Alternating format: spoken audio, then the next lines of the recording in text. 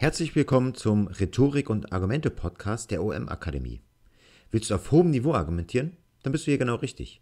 Mein Name ist Tobias Weiland und ich stelle dir in kurzen Podcast Nuggets einzelne Argumenttypen vor, die du im Vertrieb und im Berufsalltag bei Meetings und beispielsweise bei Gehaltsverhandlungen verwenden kannst.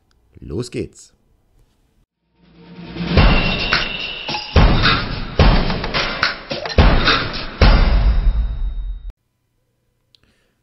Kommen wir zum induktiven Argument.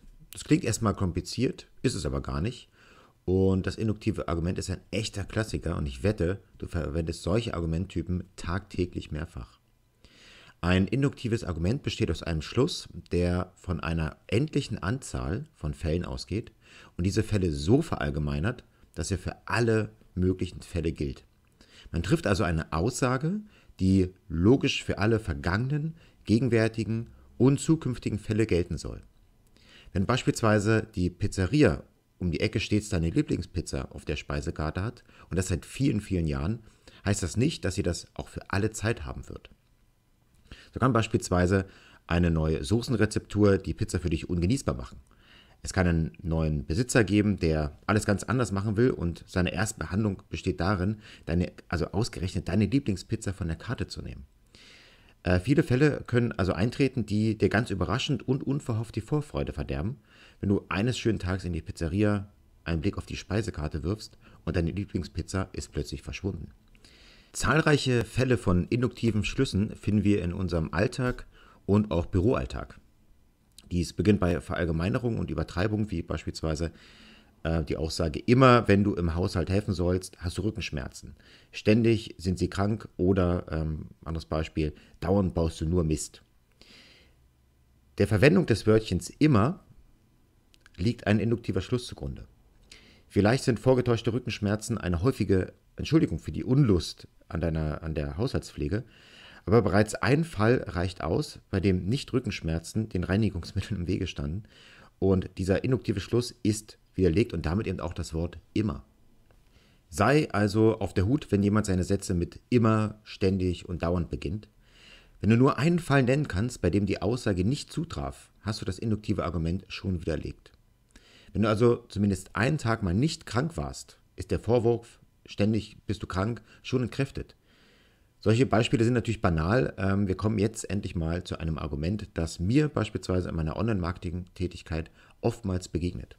Ein absoluter Klassiker im Online-Marketing ist das Abweisen von Display-Kampagnen mit der Begründung, Display-Kampagnen bringen keine Conversions und kosten demzufolge nur Geld. Auch wenn hier das Wörtchen immer nicht genannt wird, handelt es sich dennoch um eine Allaussage, die also auf alle möglichen Display-Kampagnen verweist.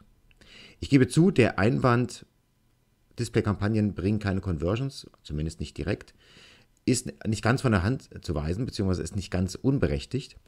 In vielen Fällen generieren Display-Kampagnen keine Makro-Conversions, wie beispielsweise direkte Verkäufe. Das sollen sie aber in den, in den meisten Fällen oder in vielen Fällen gar nicht, sondern sie sollen durch Branding-Effekte die Performance-Kampagnen wie Google Search und Shopping-Kampagnen überhaupt erst anstoßen, über die dann letztlich auch konvertiert wird. Um das Argument zu widerlegen, kannst du zum einen genau auf diese strategische Grundstruktur rekurrieren. Hier kannst du zum Beispiel auf die Customer Journey in Google Analytics verweisen und zeigen, wie viele Erstkontakte beispielsweise über Displaywerbung erreicht wurden und an welchen entscheidenden Punkten Displaywerbung überhaupt angeklickt wurde. Gerade anhand der Erstkontakte durch den Displaykanal kannst du eben zeigen, dass Conversions, die vielleicht drei, fünf oder zehn Kontaktpunkte später generiert wurden, wahrscheinlich nie zustande gekommen wären, hätte eine Displayanzeige nicht genau diesen Weg des Kunden angestoßen.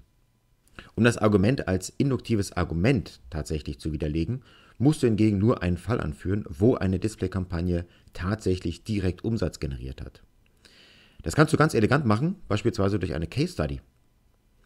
Äh, selbst wenn das äh, vielleicht von einem anderen Kunden war, ähm, kannst du ja gerne sagen, übrigens, ähm, bei einem Kunden haben wir das und das gemacht und das hat wunderbar funktioniert. Da kam über eine Displaykampagne tatsächlich Makro-Conversions. Wir haben Bestellungen oder ähm, Verkäufer oder sonst irgendwas ähm, Conversion-artiges generiert.